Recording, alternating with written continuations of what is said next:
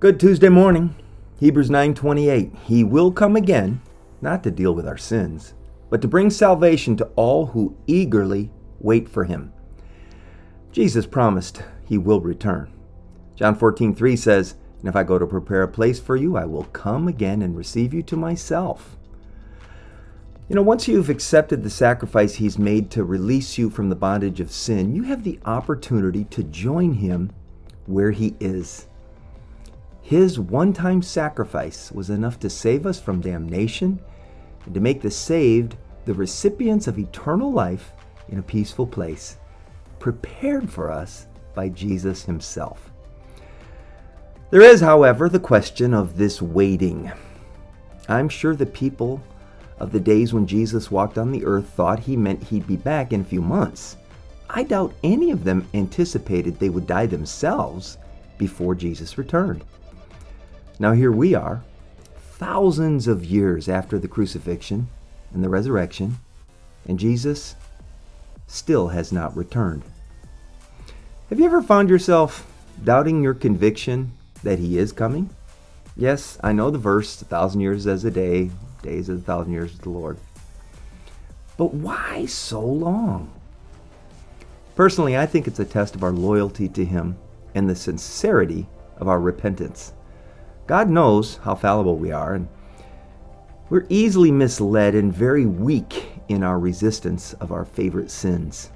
1 Peter 5 8 warns us Be alert, be on watch. Your enemy, the devil, roams around like a roaring lion, looking for someone to devour. Warnings on the suddenness of Jesus' return can be found throughout the New Testament.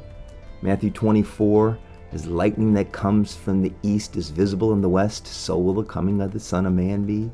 Two men will be in a field, one will be taken, the other left.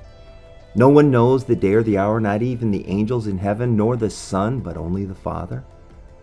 Luke 24, verse 40 says, You also must be ready, because the Son of Man will come at an hour you do not expect him. You know, when I was in my 20s, I was so dogmatic in my theological positions. If you didn't believe what I believed, I didn't think you could possibly be a real Christian. 40 more years down the road, I am way more understanding of the diversity of Christian theology. You know, the church has been debating Arminianism versus Calvinism for hundreds of years, and I'm not willing to argue that point. But I have seen a pattern repeated time and time again that just breaks my heart. People who've been washed in the blood of the Lamb, who, who just wander off the righteous path, thinking they've got all the time in the world to fix things before Jesus comes. Like the bridesmaids in Matthew 25 who didn't take extra oil for their lamps and they had to rush off to purchase more. They missed the celebration completely. Now, you work out your Calvinism versus Arminianism of what being caught off guard means eternally, but I I have watched so many professing Christians wander away from Jesus and they're clearly not prepared for his return. Jesus paid the price for our sins once and for all. If you've accepted that wonderful gift of forgiveness, don't waste it. Steer clear of all the things that the Spirit of God does not approve of. And don't think for a minute that Jesus will not be coming today so you can relax. You don't know when Jesus is coming. Like a pregnant woman waiting for labor to begin, you need to have your bag packed and ready to go. So, are you prepared?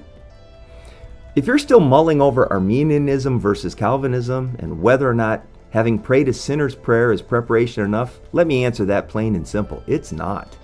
If you prayed a sinner's prayer 40 years ago, like I did, and you think you've done all you need to prepare for Christ's return, you are sadly mistaken. 1 Peter 3:15 tells us that our preparation for Christ's return must include worshiping Christ and him being Lord of your life.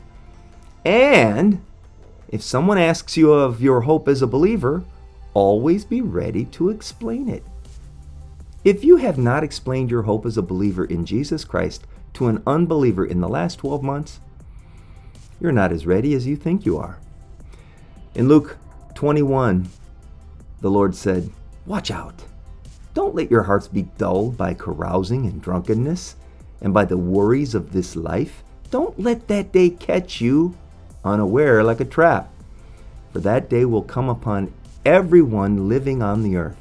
Keep alert at all times and pray that you might be strong enough to escape these coming horrors and stand before the Son of Man. If you're hopeless, you're not prepared to stand before Christ when he returns.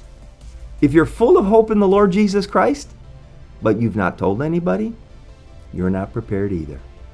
Jesus is coming. If he doesn't come today, I'll see you tomorrow. But in the meantime, get ready to tell somebody about Jesus today.